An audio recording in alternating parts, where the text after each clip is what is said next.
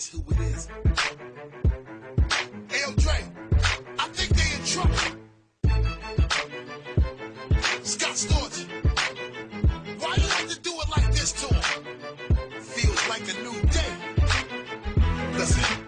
Now every time I come in, I hit you niggas with shit regardless. You get retarded and the niggas ain't got a clue on how the fuck I do what I do and say what I say and spit what I spit. You that I'm the only nigga that could ever come and spitefully turn the place into a motherfucking zoo.